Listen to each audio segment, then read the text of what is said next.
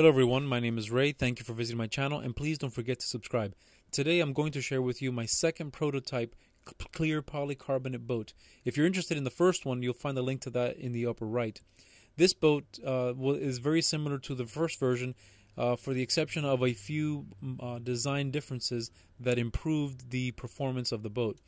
Uh, I folded this one in my living room uh, floor on my living room floor, just like I did the previous one, uh, except that this version has twice as many bins in the hull than the previous. Additionally, I added a full frame in the cockpit area, whereas the previous version only had a partial frame, stiffened it up uh, quite a bit more.